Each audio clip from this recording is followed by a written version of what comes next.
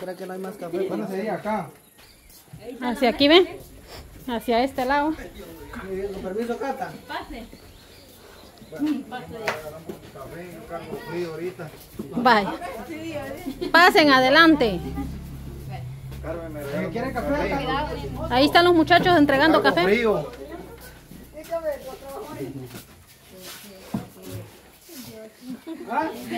Todos con sus caras así de asombro. ¿Por qué café? ¿Va que sí? Ella quería Pepsi. Nosotros ya estamos acostumbrados a la coca. Oiga, todos dicen coca, miren. Ah, todos toman coca. Sí, Ya O sea, que lo ideal hubiera sido tomar coca. Sí. No, a esta hora sí nosotros lo tenemos ya como acostumbrado ya a tomar coca. Ah, ve, yo, yo creí que tomaban café. No, también aquí. Es que la coca también trae cafeína y es mejor el café, ¿va? Sí, mi persona sí cayó bien porque yo, aunque sea mediodía, cualquier, cualquier hora, el cafecito. Don Chico, para Don Chico sí, excelente. La coca, la diferencia de la cafeína, que la cafeína fría es veneno. Entonces, la cafeína recién hecha no. O sea, daña un poquito porque estimula, ¿verdad? Pero no es tan dañina como la coca. La coca tiene muchas... Me está firmando, me van a echar de Guatemala los de la Coca-Cola.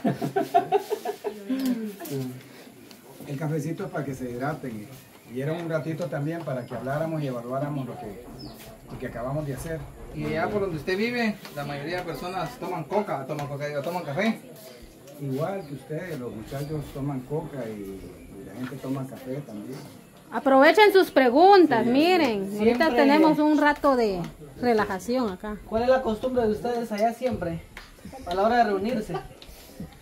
Depende, porque si es para trago es otra costumbre. Ah, claro. No, depende, si es reunión de trago, reunión de trabajo, reunión de trabajo, uno no sabe de cuál reunión. Por ejemplo, una, una reunión de trabajo, ¿qué es lo que...? Eso depende de cada empresa, ¿verdad? O de cada lugar. En este caso, a mí me interesa, ustedes son equipos, son grupos. Grupos son más equipos que grupos. La diferencia de grupo es que el grupo funciona sin ninguna coordinación, etcétera. Ustedes ya son más equipos. Aunque falte. Sí, es cierto. A mí me interesa, ahora sí, ya tocaron, ya tocamos, Carmen, usted no carga frío. ya, ya tocaron, eh, bueno, ya habían traído las llantas,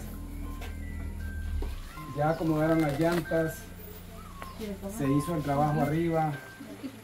Este, yo quiero que sepan lo- por qué Manuel estaba cortando ese muro de atrás de la casa.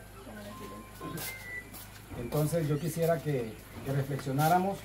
Si nosotros vamos a ver las llantas, acabamos de hacer el relleno, ¿verdad? Y sobre ese relleno pusimos las llantas de camión. Si ustedes van a ver ahorita, las llantas de camión ya se volcaron. Y si lloviera y se mojara, seguramente las llantas se van para abajo. ¿Por qué les estoy diciendo esto? Para que vean lo importante que es el trabajo inicial que uno hace. Y con las llantas es igual. La, la- la primera parte que hagamos, la base que hagamos, si eso quedó bien, todo va bien. Muy bien. Si eso quedó mal, vamos mal.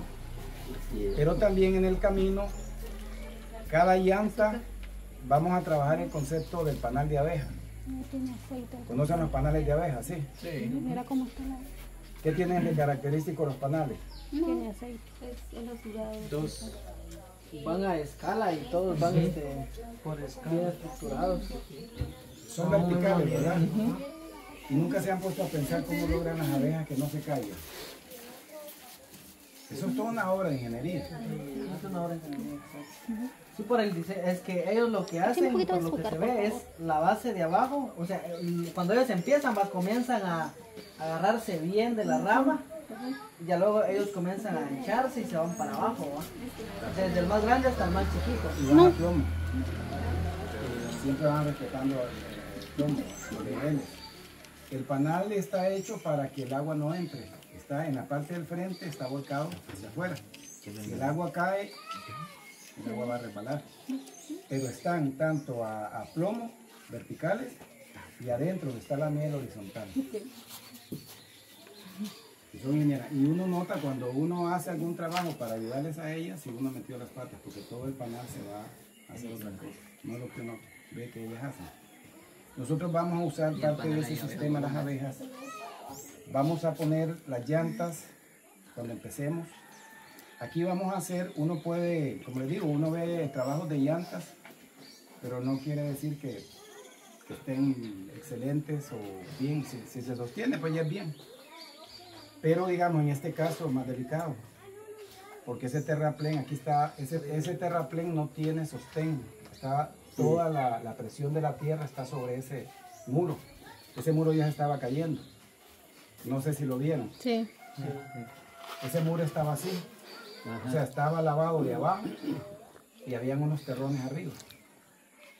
Si ese muro cede, lo único que le va a contener es la pared. Y si la pared no aguanta, se viene. Es mucha presión la que hay. Sí, en ese caso tiene toda la razón. Entonces nosotros vamos a hacer lo contrario. A la presión que hace la tierra, le vamos a poner una presión contraria con el muro. Entonces el muro tiene que tener ciertas características de fortaleza.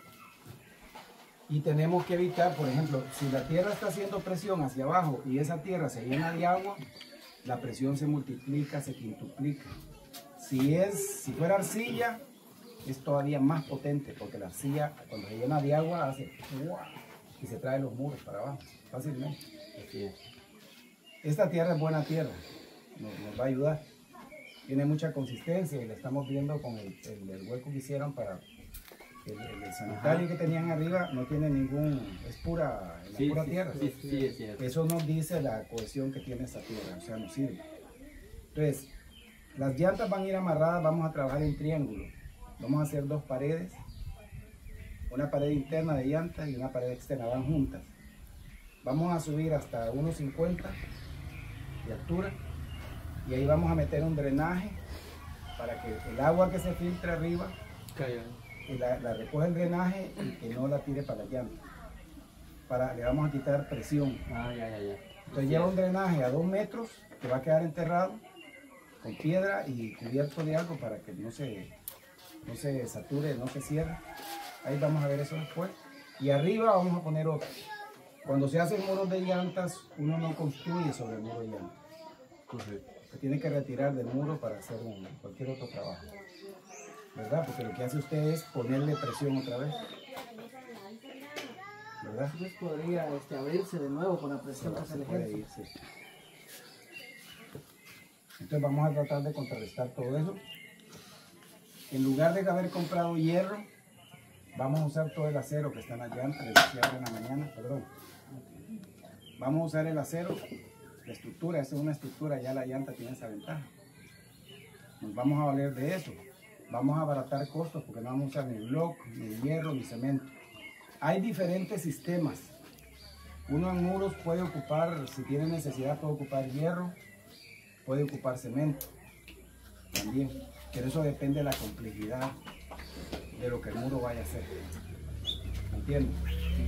Entonces, en este caso, vamos a tratar de que salga lo más barato posible y lo mejor. Va a quedar excelente. Entonces, el trabajo de cada uno de ustedes es sumamente valioso. Pero ahora nos vamos a reorganizar. Bueno, yo quisiera ver que me, me- me- me hablaran de la experiencia, que cómo la ven, porque ahora sí ya vamos a ir entrando en materia, como se dice.